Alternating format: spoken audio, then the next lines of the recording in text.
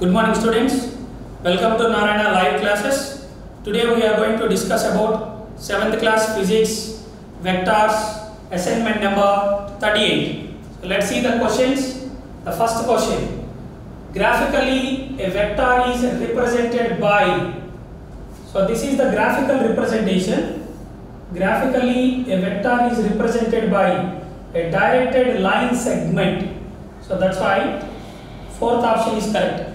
Let's see the next question. The length of the directed line segment represents, for example, if this is the length of the directed line segment of a vector, so it is having two points. This is called initial point and this is the final point. Initial point is also called tail and the final point is also called head.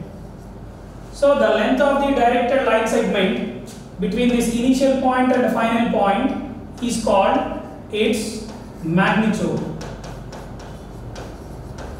So that's why second option is correct.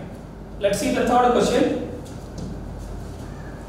The correct method to represent a vector is a vector is always represented by an alphabet and over it we need to write an arrowhead. So whether it is a small letter or capital letter. So that's why the correct method to represent a vector is an alphabet over it we need to write an arrowhead. That's why fourth option is correct.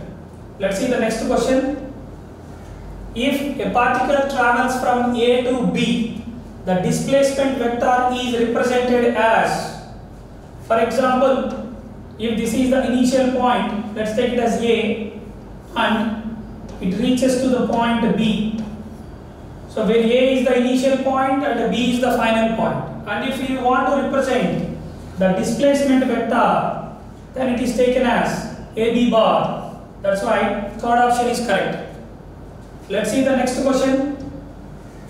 A vector can be denoted by using an alphabet or arrowhead with so an arrow. For example, if you see, if I want to pronounce it is a vector A bar, then an alphabet A has to represent with an arrow over the head. So that's why a vector can be denoted by using an alphabet or headed with an arrow. So first option is correct.